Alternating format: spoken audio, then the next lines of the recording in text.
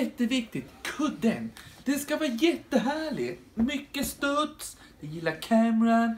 Han sa så här en gång. Nej, köp inte den här kudden. Den vill jag inte ha. Men jag tyckte den var jättefin. Och då hade jag ett litet tips. Då gör man så här. Då tar man hälften av pengarna. Då tar man från det vanliga kortet. Och sen tar man andra hälften av pengarna från matkassan. Jätteviktigt.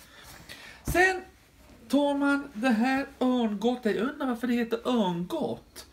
Det hade kunnat heta jag som en annan liten fågel. kollebrigottet, Bregott.